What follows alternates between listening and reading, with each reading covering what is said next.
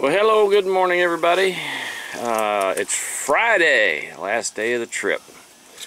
We just stayed at Bobby's Fish Camp last night, and we got there just in time. A hell of a storm come in, blew through, and uh, we just decided to get a room there so we wouldn't have to be exposed to all that.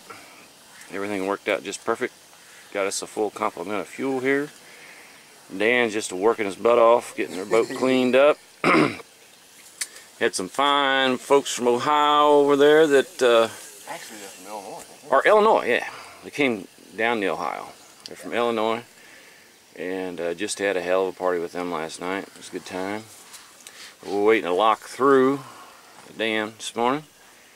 We got the spillway down there, and uh, just having a hell of a time. We got what about 120 miles to go, and uh, hopefully Scott will get us picked up. He should be on the road, and that's probably him that called me on my phone. So I'll have to uh, get my messages and check those and see.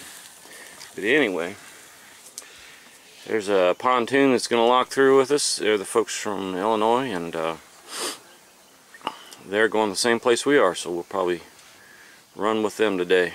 So, anyhow, thanks for watching.